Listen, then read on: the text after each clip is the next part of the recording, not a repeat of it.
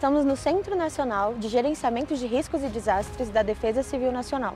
Até domingo, dia 24, na região central do país, mais precisamente nos estados do Pará, Tocantins, Mato Grosso, Mato Grosso do Sul, Goiás, Minas Gerais, Rio de Janeiro, São Paulo e Paraná, são esperadas temperaturas elevadas, podendo ficar 5 graus acima da média, gerando uma grande onda de calor nesses locais.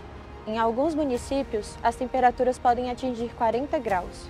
Portanto, evite exposição ao sol em horários de maior intensidade de calor, redobre a atenção para a hidratação bebendo bastante água e consuma alimentos mais leves. Fique de olho nas crianças e nos idosos. Esteja atento às orientações das autoridades locais. Certifique-se de que são informações oficiais. Ligue para a Defesa Civil 199 ou para o Corpo de Bombeiros 193, caso necessário. Siga a Defesa Civil Nacional nas redes sociais para mais informações.